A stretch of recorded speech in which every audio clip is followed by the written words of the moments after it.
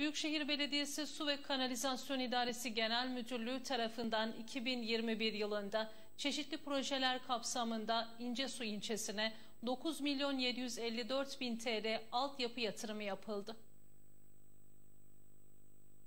KASKİ Genel Müdürlüğü ilçelerin altyapısını daha da güçlendirmeye yönelik çalışmalarını 2021 yılında da aralıksız şekilde sürdürdü. Tüm ilçelerde ihtiyaç önceliğine göre belirlenen projeler günübirlik değil, geleceğe yönelik şekilde hazırlanarak hayata geçirildi. Bu kapsamda 2021 yılında geleceğe ışık tutacak projeler dahilinde İncesu ilçesine ileri biyolojik atık su arıtma tesisi, içme suyu, kanalizasyon, sondaj kuyuları gibi çeşitli hizmetler dahilinde toplam 9 milyon 754 bin TL değerinde altyapı yatırımı gerçekleştirildi. Toplamda 36.387 metre içme suyu ve kanalizasyon şebeke hattı imalatı gerçekleştirilirken tüm mahallelerde ekonomik ömrünü tamamlayan hatlarsa yenilenerek daha sağlıklı yapıya kavuşturuldu. Büyükşehir Belediye Başkanı Doktor Memduh Büyükkılıç, Kayseri'nin daha da sağlıklı altyapıya kavuşması için KASKİ Genel Müdürlüğü ekiplerinin sağlıklı ve kesintisiz hizmet anlayışıyla yoğun bir şekilde çalışma yürüttüklerini kaydetti.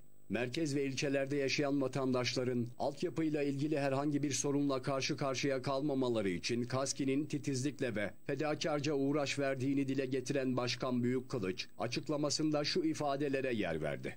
Belediyeler için altyapı hizmetleri hem zor hem de gözle görülmeyen çalışmalardır. Özellikle küresel ısınmanın tüm dünyada etkisini arttırmasıyla suyun önemi daha da arttı. İçme suyuna erişimin her geçen gün daha da zorlaştığı bir dönemden geçiyoruz. Kaskimiz kayıp kaçağı önlemenin yanı sıra kaynak sularını da koruma altına alıyor. Çok şükür Kayserimizde içme suyuyla ilgili herhangi bir problemimiz yok. Bunun yanı sıra altyapı kavramına giren bütün hizmetleri vatandaşlarımıza ulaştırma noktasında da en başarılı iller sıralamasında zirvedeyiz. Temiz çevre ve sağlıklı yaşam anlayışıyla altyapı çalışmalarımız 2022 yılında da devam edecek. Yapılan ve yeni dönemde yapılacak olan projelerimiz İnce Sulu hemşehrilerimize hayırlı olsun.